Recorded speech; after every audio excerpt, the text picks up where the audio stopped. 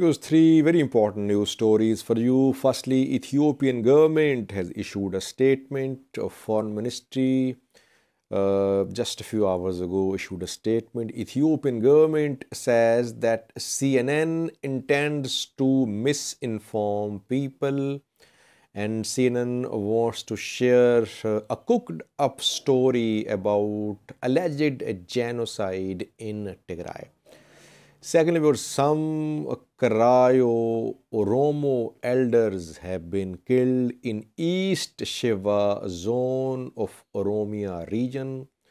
Oromo Liberation Army and some Oromo activists have confirmed the killing of uh, several Karayu elders. Around 23 have been killed there, and among them, some are Karayu elders. Why were they killed?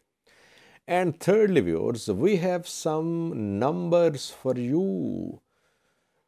Turkey and the UAE both are exporting weapons to Ethiopian government. Uh, we shared some information with you regarding uh, uh, flights, cargo flights between the UAE and Ethiopia, Turkey and Ethiopia. Al Jazeera also did a story on uh, air bridge between the UAE and Ethiopia. Now we have some figures for you from Turkey. How much weaponry did Turkey uh, send to Ethiopia within the past four months? We have some numbers for you uh, from August uh, till November, how much weaponry did Turkey provide uh, to Ethiopia? I'll share the numbers with you. Firstly, viewers, uh, Ethiopian Foreign Ministry a few hours ago issued a statement. Ethiopian Foreign Ministry says that CNN intends to do a fake a story, a new story, a report about genocide in Tigray. In Tigray means Western Tigray, I think. Uh, Ethiopian government says that uh, in August, CNN made a similar attempt when it tried to prove that uh, Tigrayans were, were being killed and their dead bodies were being thrown into Tekeze River. And back then, uh, Samantha Power was visiting Sudan. So during her, her visit, CNN tried to stage this uh, fake genocide uh, campaign. CNN shared this story as a breaking news, as an investigative report, but this report was totally false.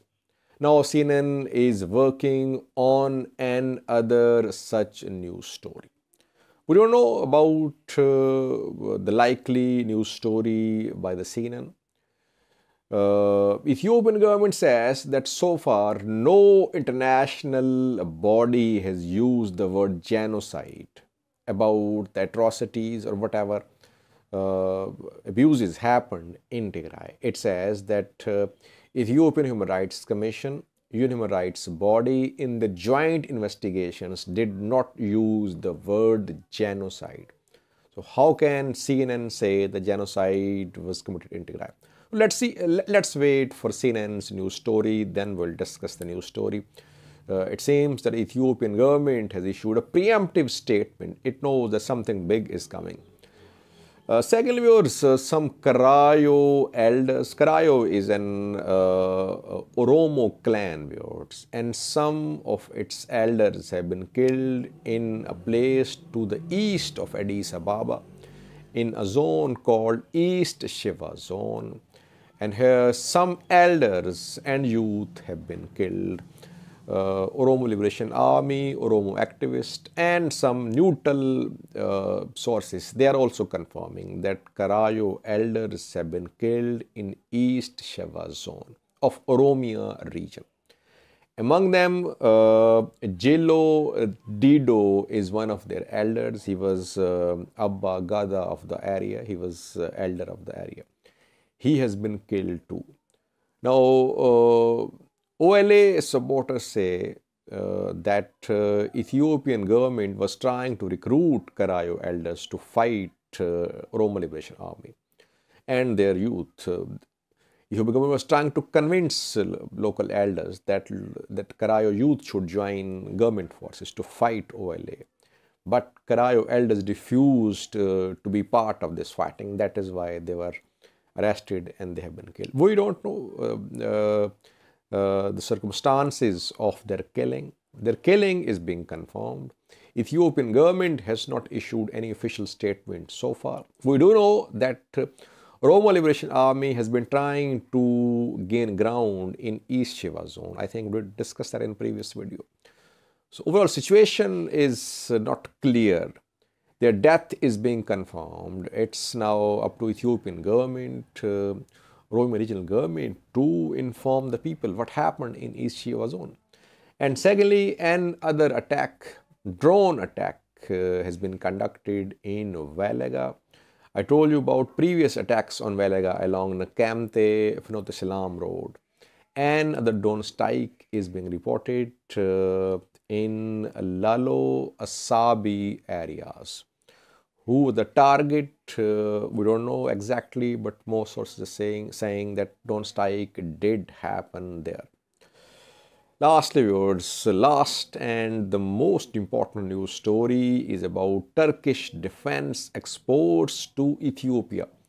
A turkish journalist has shared some numbers about uh, uh, how much weaponry turkey has exported to ethiopia in the last four months. The journalist says that in August, Turkey supplied Ethiopia with weaponry worth 51.7 million US dollars. In September, weaponry worth 1 million US dollars. In October, 10.7 million US dollars in November 31.1 million US dollars. So from August till November, Turkey has exported weapons to Ethiopia worth 94.5 million US dollars. And this weaponry includes, according to Turkish journalist, this weaponry includes drones, armored vehicles, uh, ammunition and artillery pieces. So not only is the UAE backing Ethiopian government militarily, but Turkey is also backing Ethiopian government militarily. Interestingly, we have seen two statements from Turkey about Turkey's uh, offer to mediate between TPLF and Ethiopian government. So on one hand, Turkey is offering to mediate on the other hand, it is arming Ethiopian government as well with drones, with uh, artillery pieces, with ammunition. Both the UAE and Turkey, they are militarily backing Ethiopian We have seen uh, reports of dozens of cargo flights between the UAE and uh, uh, an Ethiopian Air Force base in Oromia. And all these cargo flights uh, were not uh, registered in the records of Ethiopian civil aviation. That is why questions were raised. Al Jazeera confirmed, uh, I think three days ago, that uh, UAE was flying Ethiopia with weapons. We have been reporting that uh, for the last uh, two, three months, I think, that uh, both countries, they are involved in backing Ethiopia militarily and at the same time they're offering to mediate as well, especially Turkey.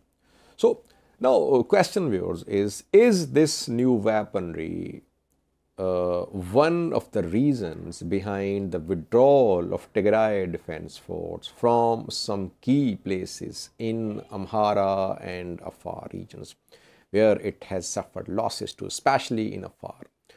Well, I'm working on that. In the next video, we'll try to have a detailed look at the reason of the withdrawal of Tigray Defense Force. Why is TDF withdrawing from Amhara region? Uh, is it due to this newly purchased weaponry? Has some deal been stuck between Ethiopian government and TPLF? In the next video, I'll try to have a detailed look at the cause of TDF's withdrawal from some key places in Amhara region. I thank you much.